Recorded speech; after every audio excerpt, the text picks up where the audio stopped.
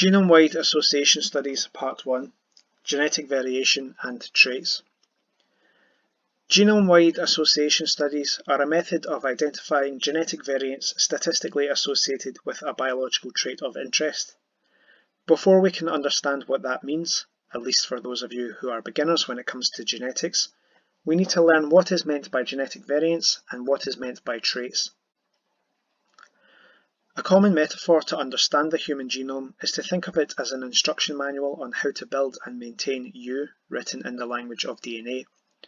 The DNA alphabet is only four letters long, consisting of the nucleotides adenine, cytosine, guanine and thymine, denoted as A, C, G and T respectively. The letters in this alphabet are used to compose three-letter words called codons, which code for the corresponding amino acids, as well as codons which signal the start and end of a sequence to be translated. In the same way that a chain of words form a sentence, a chain of amino acids form a protein. A gene can be thought of as a paragraph containing these sentences which tell your cells how to make the proteins which form the building blocks of your body. Genes consist of exons, the sequences which are translated into amino acids, and introns, non-coding sequences of DNA which can be thought of as the punctuation between sentences. Paragraphs are divided amongst chapters of the genome called chromosomes. Within each chapter, paragraphs are separated by pages and pages of non-coding DNA, vastly outnumbering the amount of space taken up by the paragraphs. Within these pages are found sequences called transcription factors, which contain information such as under which conditions and how frequently the instructions in the paragraph should be carried out. The instruction manual contains 23 chapters and is 3.3 billion letters long. Your genome is more than 99% identical to the genome of any other human. The less than 1% difference in our genomes are genetic variants, Often these are one-letter changes in different positions across your genome called single nucleotide polymorphisms, or SNPs.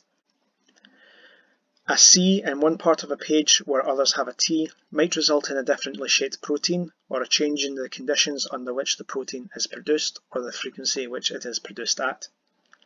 More often than not, however, the one-letter changes will either be on part of a page which makes no difference to the instructions, or the changes they make will not result in a biological difference. The few SNPs which do make a difference are responsible for the biologically inherited diversity we can observe between individuals, including factors which influence the way we behave. This observable diversity in biological features is what we mean when we are talking about traits. A trait can either be quantitative or qualitative. A quantitative trait is one which differs in the level which it is expressed. Height would be an example of a quantitative trait because people differ on a spectrum from short to tall. A qualitative trait is one which takes one of a number of distinct forms, such as eye colour, which can be one of a few different colours, for example blue, brown or green. To use a behavioural example, how highly someone scores on a measure of extraversion from a personality test would be a quantitative trait, whereas whether or not someone has ever went skydiving would be a qualitative trait. Genome-wide association studies, therefore, is a way of answering the question, what are the biological consequences of single letter variations in our instruction manuals by finding out what genetic variants are associated with different traits? Genome-wide association studies are carried out by taking a measure of a trait from a large sample of individuals alongside nucleotides from a series of carefully chosen positions within their genome and performing statistical analyses to identify associations between genetic variants and the trait of interest.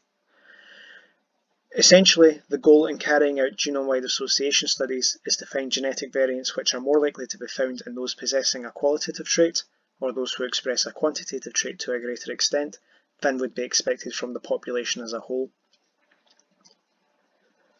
So if individuals who have the aforementioned C in one part of a page were 0.05% more likely to have gone skydiving than those who have a T, some newspapers might claim that scientists have discovered the skydiving gene. The next video will discuss the actual methodology of genome-wide association studies in more detail, including how genetic variants are identified and the statistical tests which are used to identify associations.